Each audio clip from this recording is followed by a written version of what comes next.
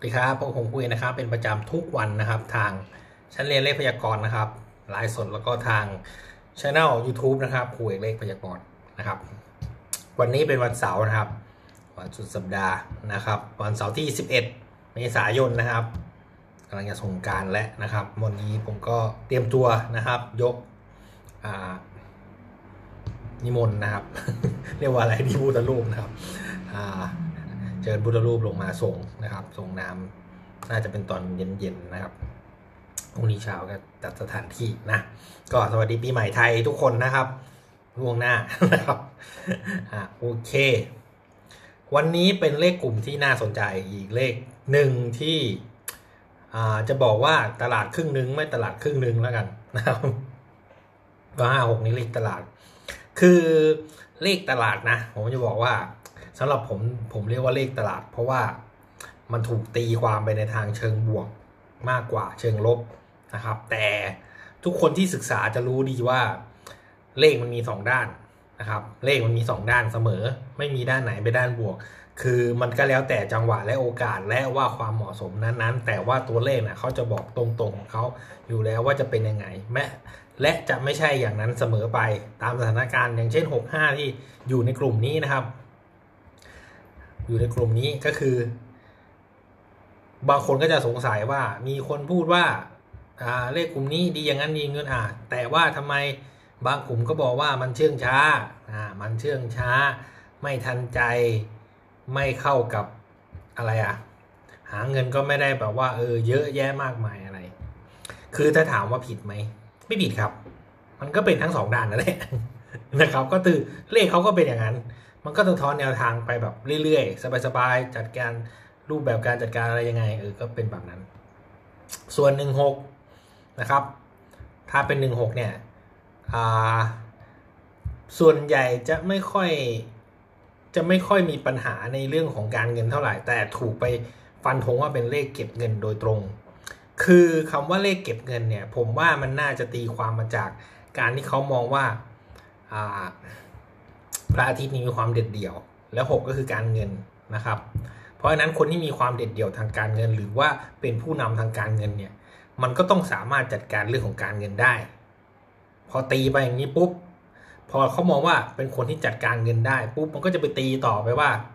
แสดงว่าคนเนี่ยถ้าพูดถึงเงินเนี่ยมันต้องเป็นอันดับหนึ่งมันต้องจัดการได้ทุกอย่าง ได้ทุกอย่างนึกออกไหมครับ พอมันจัดการได้ทุกอย่างก็คิดว่าอ๋อถ้ามีเรื่องเงินเนี่ยไอ้คนเนี้ยมันจัดการได้ แสดงว่าต้องเก็บเงินได้แน่นอนเออชอบ แต่จะมองไปในทางเนี้ยแต่จริงๆแล้วสำหรับผมคือเลขของการจัดการ ไม่ว่าเฉพาะการเงินนะทุกเรื่องคือทุกเรื่องที่เกี่ยวกับอ่าสิ่งอันเป็นประโยชน์ต่อตนเองอะ่ะ คนอย่างเนี้ยได้หมด แล้วอย่าลืมว่าเวลาที่เราตีความเนี่ยมันเราเอาแค่ความหมายของความเด่นของมันเอามาพูดบางที เรื่องที่มันไม่เด่น หรือว่าเรื่องที่มันไม่ได้กล่าวถึงเราสามารถเอาไปพูดได้อย่างเช่น ถ้าสมมุติว่าเรามองหนึ่งหกล่ะเรามองหนึ่งหกเป็นเรื่องของการค้าขายล่ะ ก็แสดงว่าเป็นคนที่ยังไงก็ได้ก็ต้องมองแนวทางของการที่จะหาเงินนั้นมาให้ได้ การค้าก็ต้องเป็นลักษณะที่ชัดเจนอ่าแนวทางว่ายังไงก็ต้องได้เงินวะอะไรเงี้ย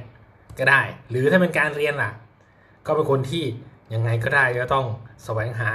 ความรู้นั้นมาให้ได้ เอามาประดับหรือว่านำเอาความรู้ไปใช้นั้น ให้เกิดประโยชน์ให้ได้สูงสุดอ่าแล้วถ้ามองไปในทางอ่าเรื่องอะไรดี การอืมอ่าความรักล่ะ ความรักนะครับ มันก็จะมองไปได้ว่าสำหรับหนึ่งหกนะ จะมีความรักทั้งทีต้องเอาที่ดีที่สุดสิ สำหรับตัวฉันน่ะมันต้องดีที่สุด มันต้องเข้าแนวท่านที่สุด มันต้องมีรูปแบบแบบนี้เป็นแบบนี้ที่ฉันชอบนะอะแล้วเขาก็เลยไปตีความต่อไปว่าอ๋อไอคนแบบนี้มันเรื่องมาก มันก็ต้องมันคงได้แต่งงานช้า แล้วก็มีหลายคนที่อ่าขอไปครับ แล้วก็มีหลายคนที่อ่าถูกอ่าก็เลยมองว่า เอ้ย เนี่ยใจจริงๆแล้วนะ ถ้าคนมีเลขเนี้ย มันก็จะได้แต่งงานช้า แต่ว่าถ้าเกิดว่ามันเจอคนที่ใช่อะ มันมีคนเคยอธิบายต่อนะครับ ถ้าไปเจอคนที่ใช่ก็แต่งงานเลย เหตุผลมันมาจากอะไร มันเหตุผลก็มาจากที่ผมบอกเมื่อสักครู่ ถ้าใช่มีแนวทางที่ชัดเจนเขาก็แต่งเลย เพราะฉะนั้นเราจะมาเอาแค่ด้านเดียวมาพูดไม่ได้ เราต้องเข้าใจก่อนว่าเออจะเป็นยังไงนะครับ อันนี้คือผมเล่าให้ฟังก่อนว่า ทุกอย่างมีสองด้านเสมอ อันนี้คือเบื้องต้นนะอะ ต่อไปนะครับก็คือเรื่องของพอกลุ่มนี้มารวมกันผมให้ชื่อว่าเป็นยอดนักบริหารจัดการ เพราะทั้งคู่รู้ว่าควรจะทำอะไร ทั้งคู่นะทั้งหนึ่งหกและห้าหกเนี่ยเป็นเลขคู่ที่รู้ว่าควรจะทำอะไร และควรจะทำตอนไหน และต้องออกมาดีที่สุดนะครับเนี่ยแนวทางจะเป็นประมาณนี้นะครับอะคราวนี้มาแบ่งเป็นด้านๆกัน จะได้มองภาพชัดเจน ด้านบุคลิกคนนี้ค่อนข้างจะรู้ว่าจะต้องแต่งตัวยังไง เราเอาเราทิคเมื่อกี้มาใส่ รู้ว่าต้องแต่งตัวยังไง รู้ว่าแต่งแบบไหนคนถึงจะรู้สึกว่า เออ คนคนนี้ดูเรียบร้อย ดูภูมิฐาน ดูสะอาดสะอ้าน แต่งตัวดูมีกาลเทศะ ดูดีเออบุคลิภายนอกก็จะเชิงแบบนี้ ถ้าเป็นวิธีการทำงานค่อนข้างจะละเอียด จัดรูปแบบการทำงานได้ชัดเจนนะครับทำงานได้อย่างมุ่งมั่นคำว่ามุ่งมั่นของผมไม่ได้บอกว่าขยันปื้อเลยนะ ก็คือรู้ว่าจะต้องทำอะไร รู้ว่าจะต้องจัดจัดวางอะไร คนอื่นอาจจะมองว่าไอ้นี่มันเหมือนนั่งอยู่นิ่งๆนะมันเหมือนไม่ได้ทำอะไรเลย แต่จริงๆแล้วเขาเขาใช้ส่วนใหญ่เขาจะใช้รูปแบบที่เขามีอยู่ในหัวเขาอะจัดการขึ้นมาก่อน เหมือนคนที่วางแผนก่อนอะมีแผนในหัวปุ๊บเวลาจะทำก็ทำทีละตามแผนปึ๊ดปึ๊ดปึ๊ดปึ๊ด ถือผมถือว่าเป็นลักษณะของผู้ตามที่ดี ถ้ามีคนในองค์กรที่มีลักษณะแบบเนี้ยแสดงว่าคนคนนี้รู้ว่าควรจะทำอะไร และควรและไม่และทำอะไรมันจะไม่ไม่ทำให้ระบบมันเสียหายมากเกินไปนะครับ คนจำพวกเนี้ยมันก็ควรจะมี แต่ถ้าถามถึงความลุย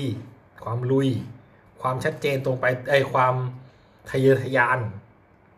นะความกระหายกระเฮียนกระหือรือ อะไรพวกเนี้ยมันอาจจะดูไม่ขยันครับ แต่ว่ามันทำให้ลงตัวได้ ถ้าเทียบความเร็วก็แพ้เขา ถ้าเทียบความรุนแรงหรือว่าความแบบอะไรอะเขาเรียกว่าอะไรอะความแบบเขาเรียกว่าอะไรอะอ่าความเพิ่งเหิมอะ ก็อาจจะไม่ไม่เหมือนคนอื่น อาจจะดูไม่เหิมนะ แต่ถ้าเทียบผลงานออกมาครั้งสุดท้าย เทียบผลงานออกมาครั้งสุดท้าย คนคนนี้ทำได้ดีกว่า คือชิ้นงานออกมารู้เลย ว่าไอ้ไอ้ผลงานเนี่ยมันมาจากคนที่เป็นหนึ่งหกห้าห้าหกหนึ่งแน่นอนนึกออกใช่ไหมเทียบกับไอ้คนที่แบบพลังเยอะๆเนี่ยคือความความละเอียดผมเรียกว่าละละเอียดอ่อนดีกว่า ความละเอียดอ่อนหรือว่ารูปแบบการทำงานมันดูชัดเจนแล้วมันดูแบบ เหมือนเราไปซื้อขนมอะ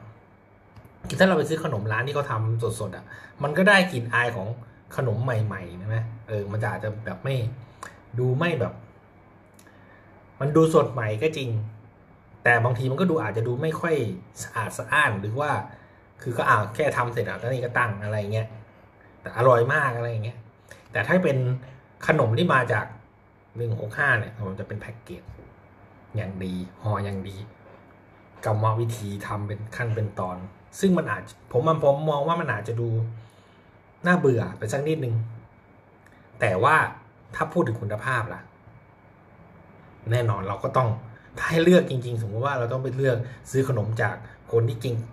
คนที่ทำขนมเก่งๆอร่อยๆมากๆ แต่ว่าไม่ได้แบบ อยากกินก็กินตอนไหนก็ได้อะไรเงี้ยอยากกินก็ต้องตามใจคนขายอะไรเงี้ยว่าถ้าไม่เสร็จก็ไม่ได้กิน กับขนมที่มันมีอยู่แล้ว แล้วก็รู้แน่นอนว่ามันสะอาด มันอาจจะอร่อยไม่เท่าหรอก แต่ก็รสชาติของอาหารแบบนี้แหละอ่าแต่มันสะอาดแล้วมีแพ็กเกจเราก็ต้องเลือกอันนี้ เราก็ต้องเลือกคนผลงานที่มันเป็นแบบอย่างนี้นี่ก่อนใช่ไหมครับ มันก็อาจจะดู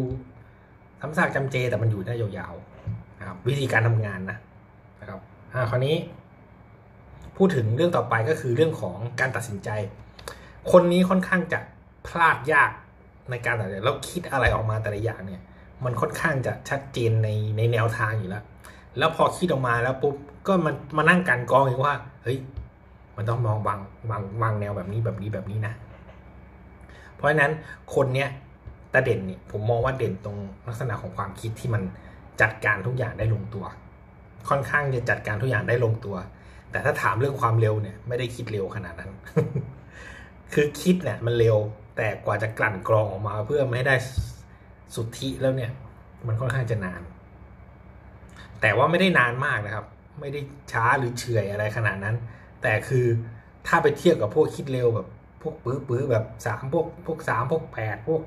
หนึ่งจัดจัดอย่างเงี้ยหนึ่งพวกอะไรพวกเนี้ยหนึ่งหนึ่งอะไรเนี่ยอันนี้มันไม่ใช่ อันนั้นก็เร็วไปพวกสี่เก้าอะไรพวกเนี้ย อันนั้นเร็วกว่าเยอะ อันเนี้ยก็ไม่ได้ว่าช้ามาก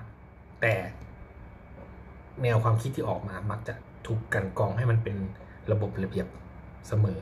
นะครับเสมอ เพราะฉะนั้นถามว่าโอเคไหมผมมองว่าโอเค คือไม่ได้ไปเร็วมาก แล้วก็ไม่ได้แบบผีผามอะไรการตัดสินใจค่อนข้างจะเด่นนะครับ ผมชอบทั้งการตัดสินใจแล้วก็การลงมือทำเพราะผมเป็นคน คือผมจะบอกก่อนว่า ผมไม่ได้เป็นคนที่ชอบทำอะไรเร่งเร่งรีบรีบเพราะถึงพบผมรู้สึกว่าถ้าไอ้ความเร่งรีบเนี่ยมัน แน่นอนมันอาจจะได้งานเยอะ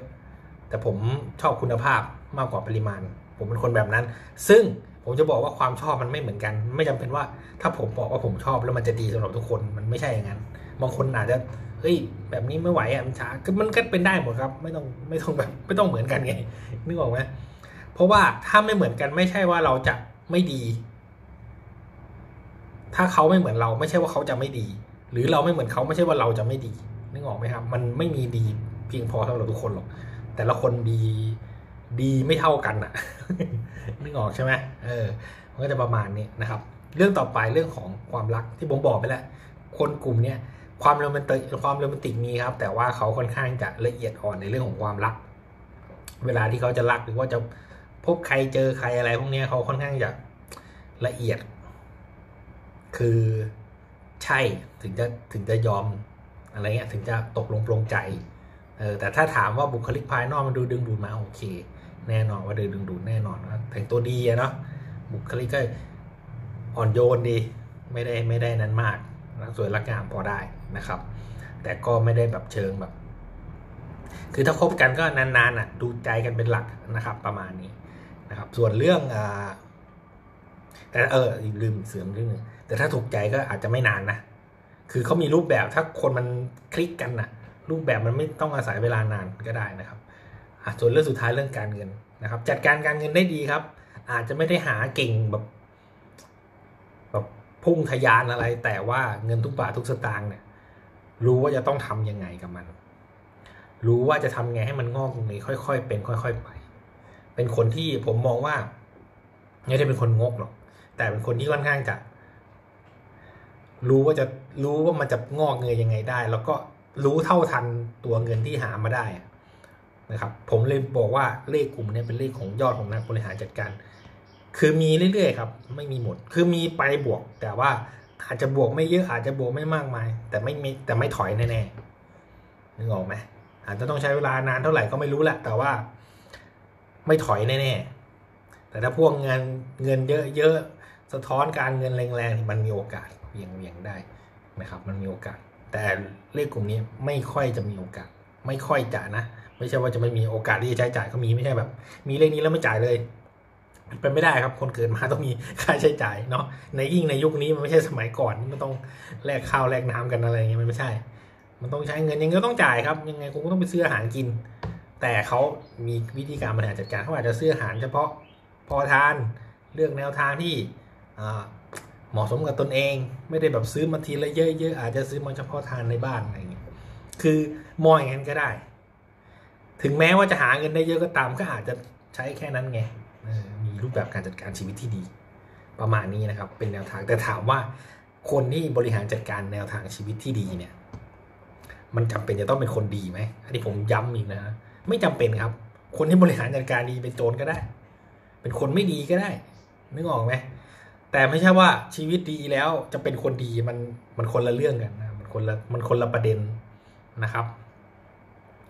คือมันมีหลายคนถามว่าเนี่ยแนวทางแบบนี้มันเป็นแนวทางมงคลนะมงคลไม่ได้อยู่ที่เลขครับมงคลอยู่ที่คน ไม่ได้อยู่ที่เลขล้านเปอร์เซ็นต์ผมการันตีเพราะเลขมันบอกแค่แนวทาง แต่มันไม่ได้บอกใครเป็นคนดีคนไม่ดีนะอันนี้ต้องเข้าใจนิดนึงนะ ไม่ใช่ว่า เอ้ยคนนี้เห็นลูกซน ไปเอาเบอร์แบบแนวธรรมะที่เขาว่ามาให้ลูกใส่ มันยังไม่หายซนเลย ไม่เข้าใจเลยไม่เข้าใจไงสนไม่สนมันไม่เกี่ยวครับ แต่แค่แนวทางมันเปลี่ยนไป แต่ว่าแนวทางนั้นไม่ได้บอกมันเป็นคนดีหรือเป็นคนไม่ดี เออ แนวทางมันอาจจะดูเหมาะหรือจะไม่เหมาะอันนั้นก็แล้วแต่บุคคลนะครับอะโอเคสำหรับวันนี้ขอบคุณทุกท่านที่ติดตามนะครับ ทั้งทางจ้างเรียนเลขพยากรณ์ไลฟ์สดแล้วก็ทาง YouTube นะครับ วันนี้วันเสาร์เนาะ เป็นคาบเรียนที่3นะครับของชั้นเรียนดีอนาไลซ์นะครับตอนหนึ่งทุ่มนะครับหนึ่งทุ่มถึงสามทุ่มนะครับหลายท่านก็รอติดตามอยู่นะครับในชั้นเรียนนะโอเคสำหรับวันนี้ขอบคุณทุกท่านมากครับ สวัสดีครับ